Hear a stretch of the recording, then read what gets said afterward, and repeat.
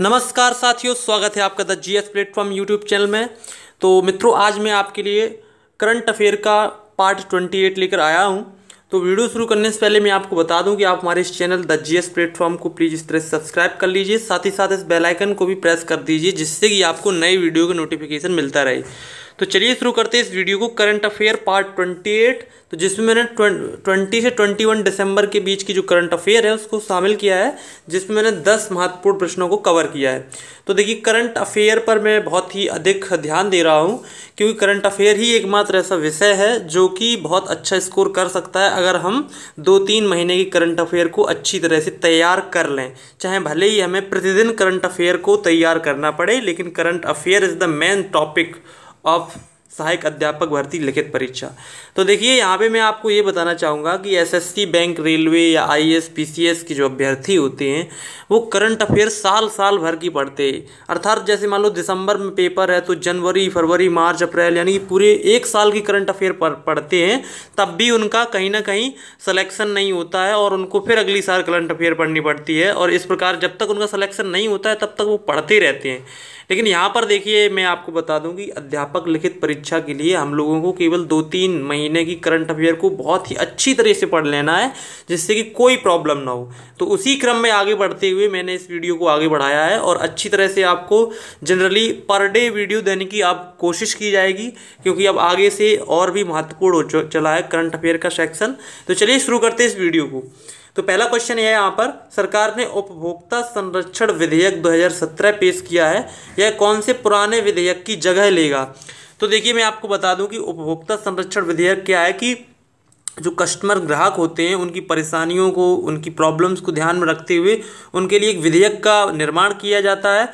तो ये जो 2017 में विधेयक पेश किया गया है, ये उपभोक्ता संरक्षण अधिनियम उन्नीस सौ की जगह लेगा और उनके नियमों को अब अच्छी तरह से डिफाइन करके फिर से उसको बनाया जा रहा है, ठीक है? तो बस यहाँ पे ध्यान रखेंगे कि जो 2017 का विधेयक है, वो उपभोक्ता संरक्षण अधिनियम विधेयक उन्नीस सौ छियासी की जगह लेगा। अगला क्वेश्चन है आपका मार्च 2018 में कौन सा विश्वविद्यालय दुनिया की पहली रेत कला प्रमाण पत्र पाठ्यक्रम लॉन्च करेगा? अर्थात रेत में जो कलाएँ प्रतिक्रियाँ बनाई जाती हैं, रेत की कलाकृतियाँ बनाई जाती हैं, उनके लिए एक पाठ्यक्रम लॉन्च करेगा, जिस पर प्रमाण पत्र दिया जाएगा। तो देखिए, भारत का ही एक विश्वविद्यालय है, इंदिरा गांधी राष्ट्रीय मुक्त विश्वविद्यालय। ये पाठ्यक्रम लॉन्च करेगा। ये एक एक राष्ट्रीय मुक्त विश्वविद्यालय, इसको इग्नू भी कहते हैं। ठीक? तो ये दूसरा क्वेश्चन आपका कंप्लीट हुआ। नेक्स्ट आपके लिए है, भारत फाइनेंशियल इंक्लूजन ने किस बैंक के साथ विलय कर लिया है? देखिए, भारत फाइनेंशियल इंक्लूजन एक वित्तीय संस्था है, इसने इन साइंड इन साइंस बैंक्स के साथ विलय कर लिया है, अर्थात इन इन दोनों का मिलन हो गया है। ठीक, ये एक दोनों दोनों मिलकर काम करेंगे। नेक्स्ट आपका क्वेश्चन है कि खेल पत्रकारिता। ऐसी पत्रकारिता जो खेल पर आधारित होती है, खेलों के बारे में पत्रकारिता की जाती है तो उस श्रेणी में रामनाथ गोयनका पत्रकार पुरस्कार, रामनाथ गोयनका पत्र, पत्रकारिता पुरस्कार सन 2017 का हाल ही में किसने जीता है? तो बिपाशा मुखर्जी ने जीता है ये। ठीक है, बिपाशा मुखर्जी ने ये पुरस्कार जीता है। अगला क्वेश्चन आपके लिए है, भारत का पहला देखिए बहुत इंपॉर्टेंट क्वेश्चन है, भारत का पहला राष्ट्रीय रेल और परिवहन विश्वविद्यालय कहाँ स्थापित किया जाएगा? तो देखिए, नरेंद्र मोदी की सरकार ने हाल ही में वडोदरा, गुजरात के वडोदरा में ऐसा विश्वविद्यालय खोलने की योजना बनाई है। तो भारत का पहला रेल विश्वविद्यालय कहाँ पे खोला जाएगा? वडोदरा में।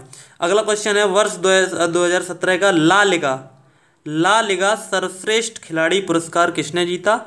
तो देखिए, वर्ष 2017 का ला लिगा सर्वश्रेष्ठ खिलाड़ी पुरस्कार प्रसिद्ध फुटबॉलर लियोनेन मैसी ने जीता है। ठीक है? लियोनेन मैसी ने जीता है इसको। अगला क्वेश्चन है, विश्व का सबसे छोटा डी रैम चिम किस कंपनी में बनाया है? तो देखो, सबसे छोटा डी रैम चिप किस कंपनी ने बनाया? सैमसंग ने बनाया। देखो D D R three RAMs होती हैं जो कंप्यूटर में यूज़ होती हैं, मोबाइल्स में भी यूज़ होती हैं। तो सबसे छोटी D D R three D D R four D D R five RAMs जो होती हैं, वो किस कंपनी ने बनाई है? सबसे छोटी डी आर एम सैमसंग ने। अगला क्वेश्चन है फोर्ब्स एक प्रतिष्ठित पत्रिका है अमेरिका की।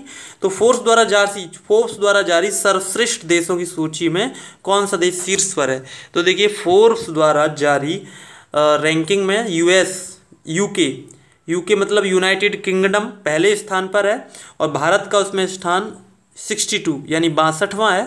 देखिए, ये जो रैंकिंग बनाई गई है, ये सर्वश्रेष्ठ देशों की रैंकिंग संपत्ति के अधिकार से संबंधित, नवाचार और लाल फीता शाही के यहाँ पर सभी को मिलाकर एक रैंकिंग बनाई गई है। कि वहाँ पर कितने नागरिकों को संपत्ति के अधिकार मिले हैं कितनी नवीन बातें नवाचार है, या वहाँ की सरकार में रेड टेपेंसिटी यानी ब्यूरियोक्रेसी लाल फीताशाही का कितना कम कंट्रोल है।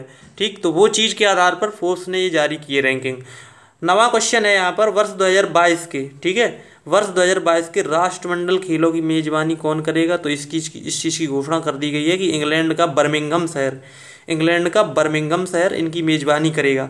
अगला क्वेश्चन है कि कौन से राज्य में भारतीय सेना ने हमेशा विजयी? नामक एक अभ्यास किया है। हमेशा विजयी नामक एक अभ्यास कहाँ पे किया है? राजस्थान में भारतीय सेना ने किया है। तो भारतीय सेना के, अर्थात भारतीय थल सेना के सत्ताईसवें सेनाध्यक्ष बिपिन रावत जी हैं। तो देखिए, ये दस क्वेश्चन मैंने आपके कवर किए, जो कि ट्वेंटी वन दिसंबर की करंट अफेयर है, और आज मैं ट्वेंटी टू दिसंबर को आपको प्रोवाइड कर रहा हूँ। तो इन सभी दस क्वेश्चन को आप कर कंप्लीट कर लेंगे, और मिलते हैं अगली वीडियो में। कल जल्द ही हम पार्ट ट्वेंटी नाइन लेकर आएँगे तो उसका वेट करिए आप, क्योंकि हम करंट अफेयर को पूर्ण रूप से फिनिश करना चाहते हैं, कोई भी चीज़ आपके लिए छोड़ना नहीं चाहते हैं तो मिलते हैं अगले वीडियो के, तब तक के लिए नमस्कार।